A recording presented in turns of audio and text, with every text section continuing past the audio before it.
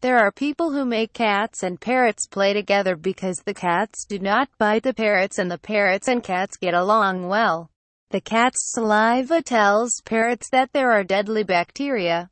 So the parrot produced this video to show that if a parrot eats a cat's saliva or puts it on the body of a parrot, the parrot may die because of the bacteria in the cat's saliva. Branches of lacquer, oak, ginkgo, etc. The food that you should not give to the crocodile, ginkgo, milk, cheese, coffee, alcohol, etc. Especially milk-based food causes diarrhea because parrots do not have the ability to break down milk in the stomach.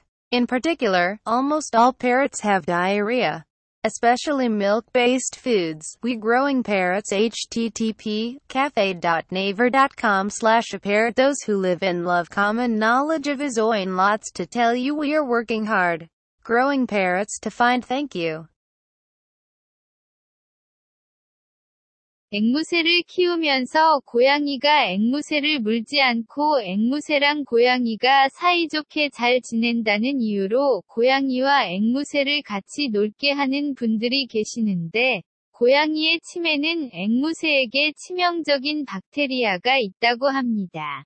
그래서 앵무새는 고양이 침을 먹거나 또는 앵무새의 몸에 묻는 것만으로도 앵무새가 면역력이 떨어지게 되면 고양이의 침에 있는 박테리아 때문에 앵무새가 죽을 수도 있음을 알려드리려고 이 영상을 제작하였습니다.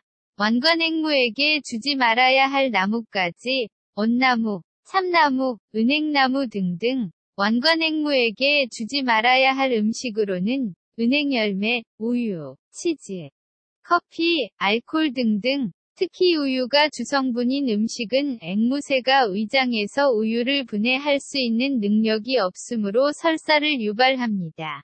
특히 우유가 주성분인 음식은 거의 모든 앵무새가 설사를 합니다. 저희 앵무새 키우기는 http 콜론 슬래시 슬래시 cafe.naver.com 슬래시 iparrot 애조 생활하는 분들이 애조인의 상식적인 정보를 알려드리려고 많이 노력하고 있습니다. 앵무새 키우기를 찾아주셔서 감사합니다.